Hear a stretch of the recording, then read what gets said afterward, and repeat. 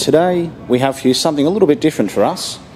It's a 2009 Chrysler Sebring. As you can see, it is a convertible. It's got the 2.7 litre V6 and it's the top of the range.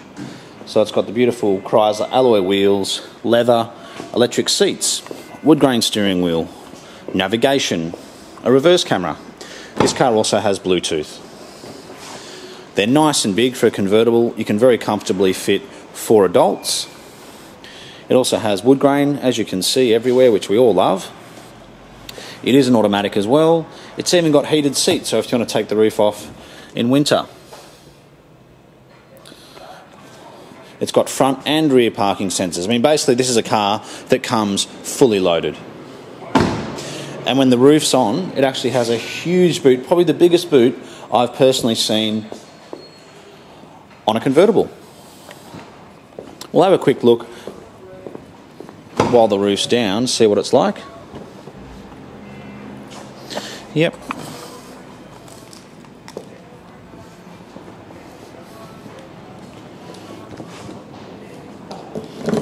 Just have a look now. Yeah, so even with the roof down, as you can see, you've still got plenty of space.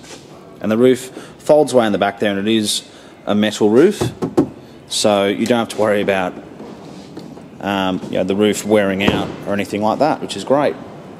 This is also a specially designed engine, so if you wanted to run it on ethanol or 85 octane fuel, you can, which is great.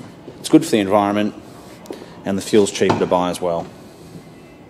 It's got a full service history, and I have driven it, and it drives beautifully.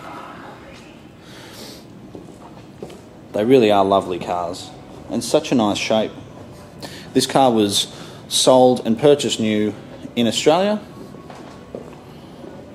All the tyres are in good condition.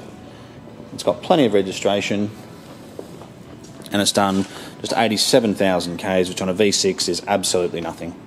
So we're the Oldtimer Centre. We're located in Marrickville, and we certainly look forward